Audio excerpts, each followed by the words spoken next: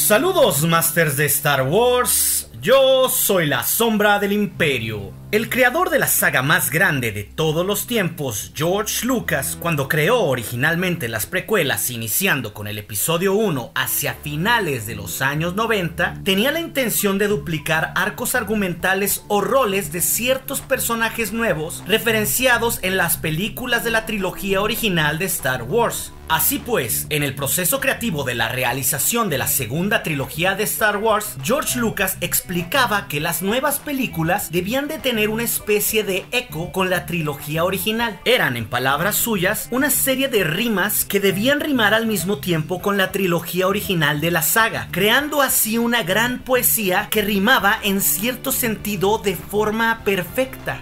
Again, it's like poetry, so if they rhyme, every stanza kind of rhymes with the last. Hopefully it'll work.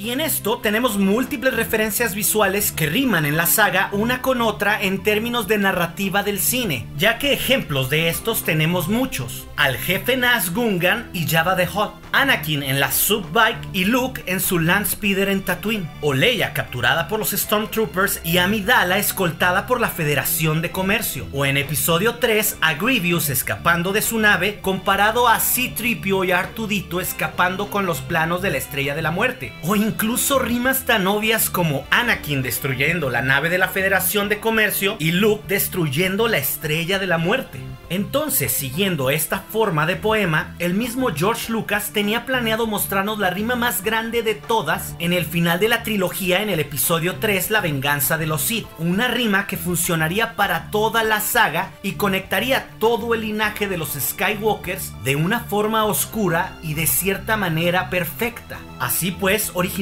Lucas planteó que el padre de Anakin Skywalker se le revelaría a él mismo al final del episodio 3, contestando así una de las más grandes preguntas que siempre quedaron parcialmente abiertas desde el episodio 1 de la saga. Oficialmente, según se nos explicó en La amenaza fantasma, el padre de Anakin era la fuerza misma, que concibió al niño en el vientre de Shmi Skywalker como una forma de traer balance al universo, creando un ser que tenía una alta concentración en midichlorians y por consiguiente un magnífico poder en la fuerza. Pero esta explicación a muchos fans no nos dejó satisfechos para nada, ya que carecía de originalidad, porque ¿cómo sería posible que Anakin fuera una especie de Jesucristo de la Biblia, un poderoso salvador con un misterioso origen que venía a salvar a la galaxia. Particularmente eso mismo pensé yo la primera vez que vi la película allá en el lejano 1999. Gracias a Dios, J.J. Abrams declaró durante la realización del episodio 7 que el concepto de los midichlorians no volvería a ser mencionado en Star Wars jamás, esto al menos para la nueva trilogía. Entonces debemos preguntarnos por qué George Lucas no se animaría a final de cuentas a traer esta rima del Imperio contraataca a la venganza de los Sith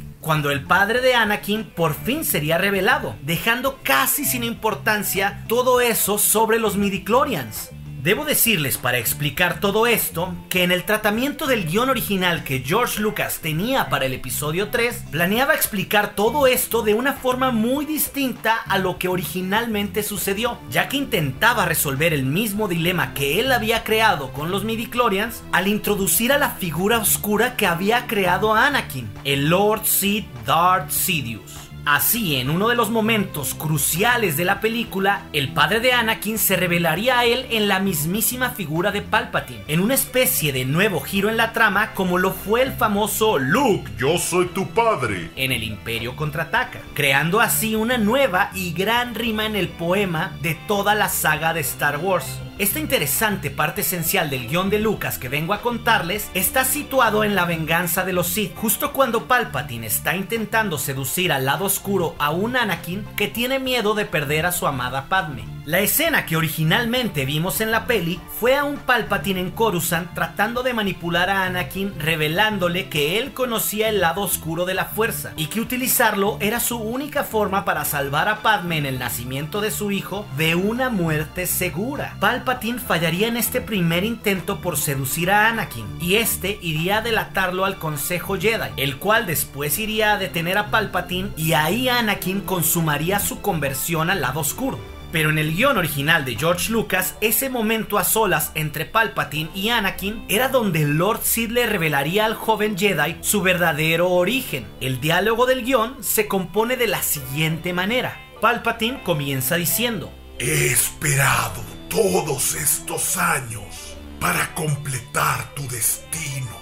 Yo fui quien arregló tu concepción. Usé el poder de la fuerza para influenciar los midichlorians, para así crear la división celular que te creó.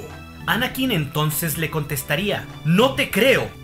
Ah, pero sabes que es verdad.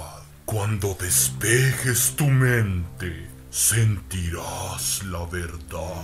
Casi podrías pensar en mí como tu padre. Anakin al puro estilo de Luke le contestaría, ¡Es imposible! Y Palpatine finalmente terminaría diciéndole, Sin embargo, debes.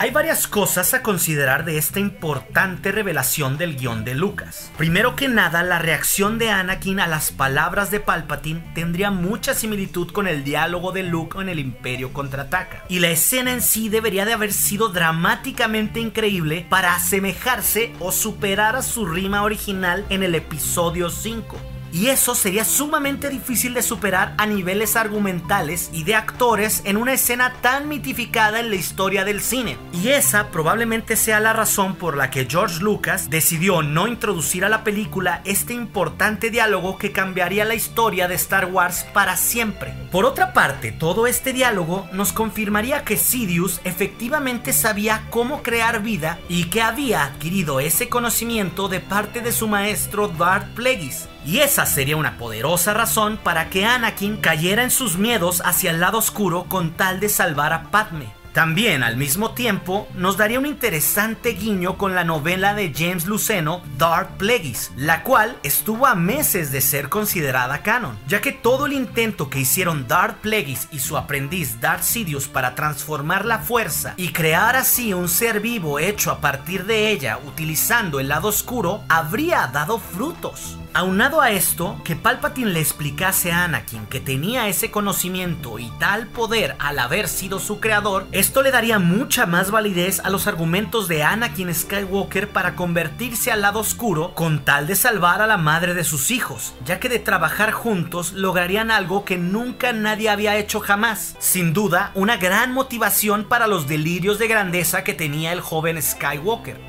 Pero lo más importante es que esta gran revelación explicaría y haría rimar muchas otras partes de la saga de la relación entre Palpatine y Anakin. Por una parte, explicaría de manera clara por qué al final del episodio 1, el canciller de toda la galaxia le diría a un niño cualquiera que seguiría de cerca su prometedora carrera. También explicaría cómo es que Palpatine se interesó con los años en un Anakin que era un Padawan para ser una especie de consejero y mentor tanto en el episodio 2 como el 3, entablando así una amistad con el joven Jedi como si fuera su padre.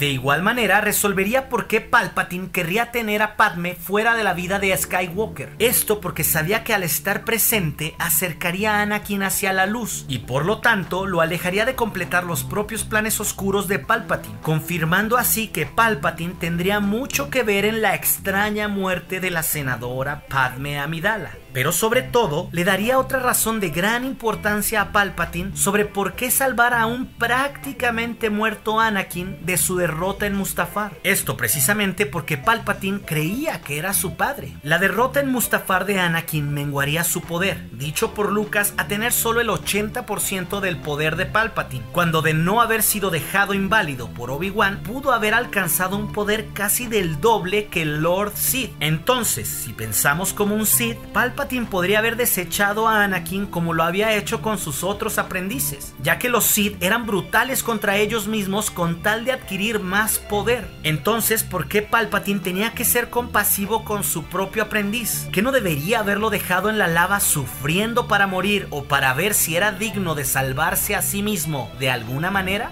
Sin duda, esto prueba que en el argumento final de Lucas quedó mucho sobre esta posible relación de padre e hijo que tendría Darth Sidious y Anakin. Sin duda, creo que hubiera sido un diálogo mucho más poderoso de cómo terminó resultando la conversión de Anakin en el episodio 3, ya que le hubiera dado mucho más significado a la parte oscura de Anakin. Aunque desgraciadamente las comparaciones y las múltiples críticas de los fans por su parecido a la gran revelación de Vader en el Imperio contraataca probablemente hubieran dañado la reputación de la película. Bueno, en este caso nada muy diferente de lo que hizo Disney, calcando mucha de la trama de una nueva esperanza en el despertar de la fuerza. Personalmente, creo que hubiera sido genial que se introdujera esta revelación de Palpatine en la película, porque creo que hubiera convertido al episodio 3 en una película tan mitificada como es el Imperio contraataca, que en mi particular gusto es la mejor de toda la saga. ¿Y tú, Master, qué piensas? ¿Crees que George Lucas debió de haber dejado este impresionante diálogo en el episodio 3? ¿Cómo crees que de haberlo dejado hubiera transformado toda la saga y la historia de Star Wars? Me encantaría saber lo que piensan en los comentarios porque créanme, siempre trato de leerlos a todos. Y dentro de su gustada sección llega el comentario del día. Aquí el premio se lo lleva Martín Larrilow, el cual hizo un comentario que debo de confesar casi me hizo llorar, ya que en el video del duelo entre Obi-Wan y Maul en Star Wars Rebels dijo que mientras comía una bolsita de gomitas se volvió a sentir como un niño durante los casi 6 minutos que duró el video. Debo agradecerte Master y a todos ustedes que me ven, porque es por comentarios como este y por compartir el enorme gusto que tengo por Star Wars que hago estos videos y de verdad les agradezco a todos que formen parte de mi vida. Perdón por el toque sentimental, pero debía decírselos. Masters de Star Wars, si les gustó este video, no duden en compartirlo y suscribirse al canal, ya que al dejarle un pulgar arriba al video, siempre ayudará al canal a llegar a galaxias muy muy lejanas. Y recuerden, nuestro aliado es la fuerza, y un poderoso aliado es. Hasta aquí la sombra del imperio.